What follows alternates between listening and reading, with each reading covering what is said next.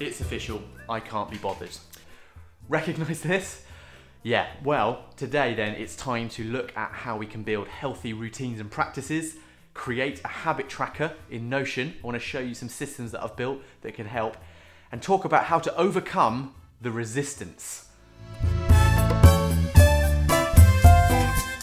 Right, toast, peanut butter, absolutely amazing. Hello, uh, hi, welcome to Better Creating. My name's Simon. If you've not been to the channel before, it's all about simplifying creative life. So I make videos about simple living, productivity, and creating better content. So today, I've got myself off that sofa, which has not been easy recently, if I'm honest. I've been finding myself more and more unmotivated, tired, and frustrated. We're on lockdowns, there's a global pandemic going on, it makes things very difficult. So this week I've been thinking about tools that might help us get past that, how we can effectively set habits and stick to them. So there are three stages to this video. First of all, we're gonna talk about the problem, the resistance as Steven Pressfield calls it, um, and how we can confront that in order to get unstuck. Secondly, about the link between goals and practices or goals and habits and how we can build systems that effectively create habits that take us in the right direction we want to go. And to that end, what I've been doing is building habit trackers, or rather, practice trackers, practices um, in my Notion system. So I want to give you a quick overview of a couple of them that I've made so that you can see them. And later in the video, let me know in the comments which of these two habit trackers you prefer. And in the next video, uh, on this subject, I'm going to be showing you how you can build your own. So if you're not subscribed, hit the subscribe button so you get more of that content and you don't miss that by pressing that bell notification. Let's do it.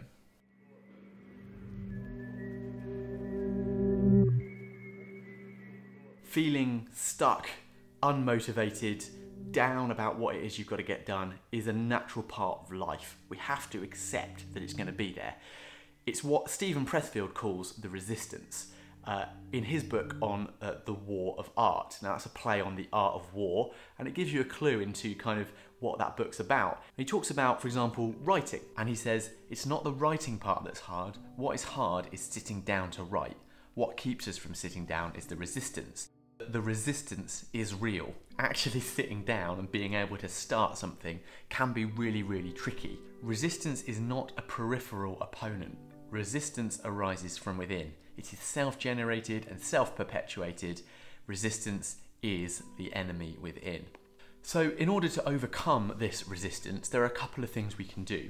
We can remove the friction uh, in our day to day life uh, and the barriers that get in the way of acting in the way we want to act. But also, we need to build in some more core principles. We need to build in goals that inspire us, uh, drive us, and are the fuel. So in a moment I'll show you how I've integrated a link between those top level goals through to the practices in my Notion um, system. That'll show you a little bit more about what I'm talking about. But let's talk about the other side of it, the friction in day-to-day -day life that gets in the way of things. Make the first three things in the day accessible with as few barriers to doing them as possible. I've realised recently, for example, that I can easily just get drawn into checking the stock market or my YouTube analytics or emails in the morning, and so I fail to start exercising immediately in the morning. That in turn leaves me far less motivated and awake, plus I feel like I'm already two hours behind starting something meaningful before I've taken my first intentional action. So I'm hiding my phone away at the moment, piling workout clothes and house keys next to my bed, and reminding myself of the post workout feeling always being better than the option of another lethargic lay in. Associate with people who are likely to improve you. Seneca. If you can be around people who also want similar things, you might be able to work with those people to be an accountability buddy, if you've ever heard of this. So I uh, did this for writing a funding application recently with a friend where we actually agreed that we would get on Zoom and just work, but be on Zoom together. And by having that kind of date with uh, a colleague, um, in another house, we could sit down and both write and actually get something done. So that idea of having an accountability buddy, someone who'll hold you to your actions can be unbelievably valuable because of course the resistance comes from within. Leo Babauta of Zen Habits was on the Tim Ferriss show recently talking about how many of us feel anxiety but won't notice that it is anxiety. We just automatically go to a way of reacting to it. It might be Netflix, YouTube, procrastination, or doing a lot of things reactively. But if you can recognize these symptoms in yourself, you can start to put steps in to counter them and do what John Whelan says, which is ask the simple question what is life asking me to do? As Leo says, this removes us from a place of self concern, and the one important thing we need to do becomes clear. This way, we become aware of the principle of priority that we must know the difference between what's urgent and what's important, and always do what's most important first. For example, if you're the kind of person who places your health first, everything else, I think, seems to follow. So that's what I'm working on at the moment. So this is my recipe for building effective habits. And here is my home screen, my dashboard in Notion. And this is entirely built around a principle of how to build effective habits. My whole system is focused on effectively connecting my big, high level life goals and desires right down into knowledge collection and the skills and actions that I need to take in order to achieve them. It essentially is a Venn diagram for habits. Let me explain what I mean.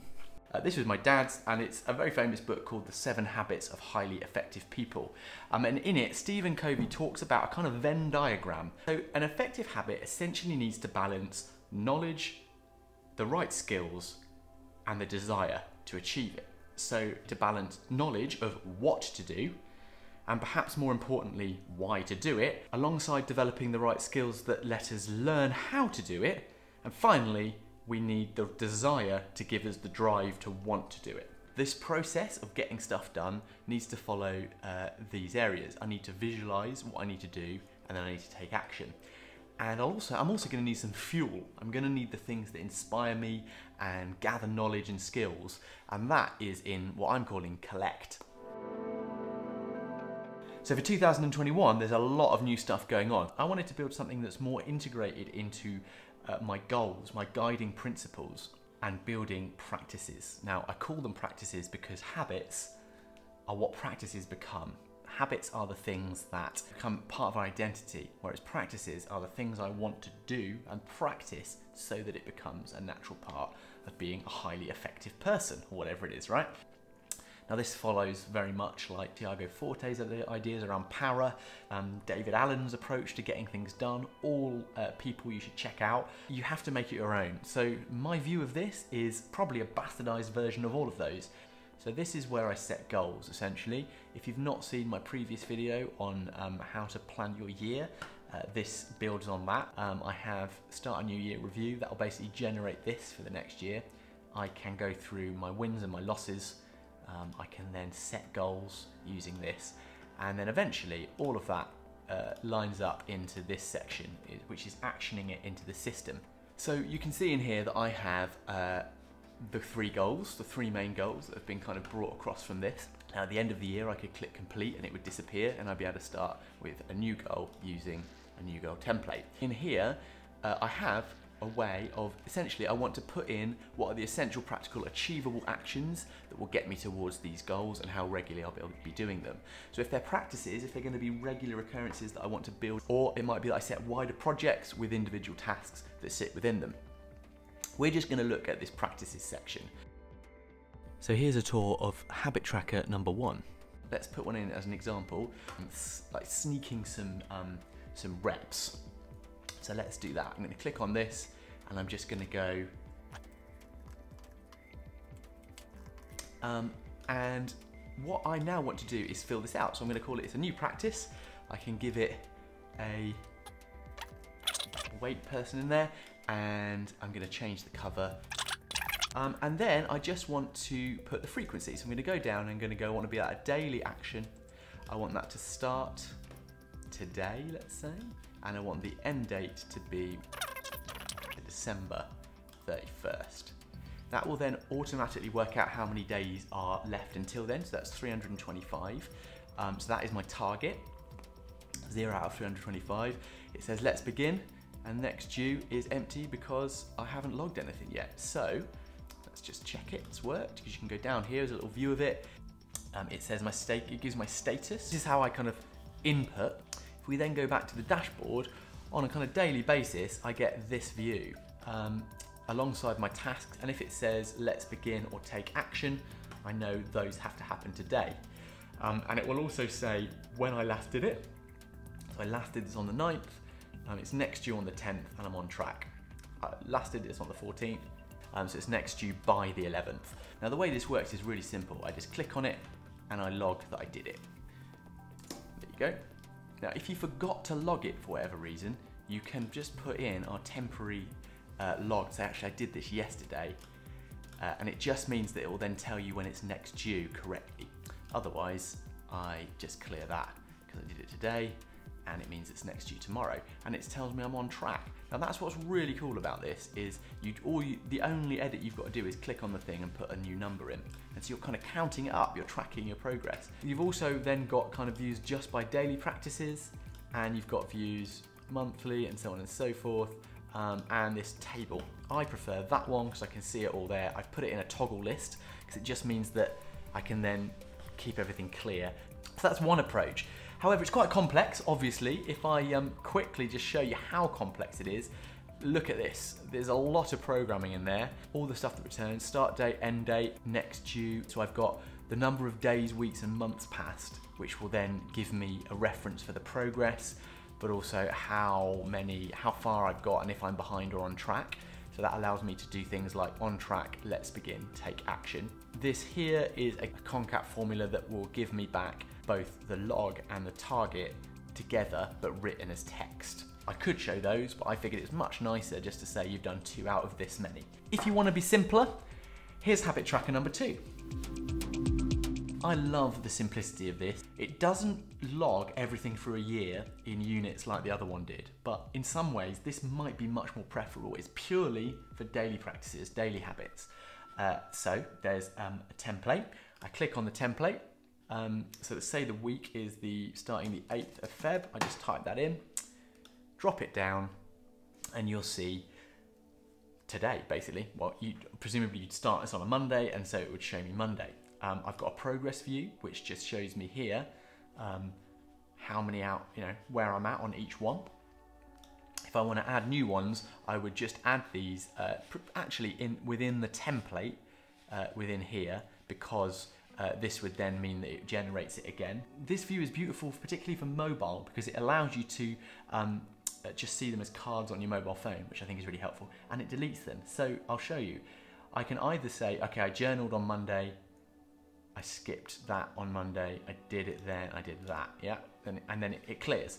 You then go to the next view, Tuesday, and it will give me my progress, so how many I've done, perfect, perfect, good, because I skipped that one. And you just do this each day. And then finally, what we would do is just bring up final report, and you'll see where we were. Wow, I did skipped five of those, not so good. Um, and this was fine because I did uh, five. The way this works is you just take the week, shut it, move it up to the habit tracker archive and drop it in. And then if I click into there, this gives me a view. So there's last week and there's this week. And throughout the process, what it will then do is just give you um, a kind of a continuous view of the year just by dropping it in. So it's a really simple way to do it. Uh, the reason I like this is you don't have to clear it each time.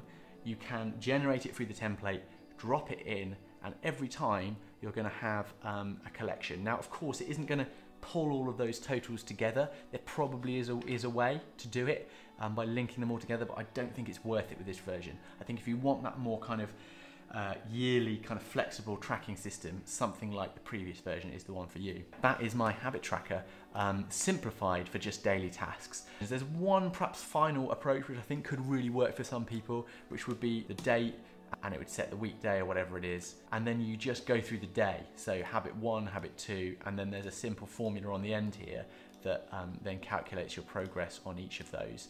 And so this version, you could then just go all the way down. But what I love about um, these two versions is, is the way they present as cards. I think it's a little bit more motivational. I think the information that comes back is better. Let me know in the comments below which of these two habit trackers you prefer and look out for the video tutorial where I'll be building them.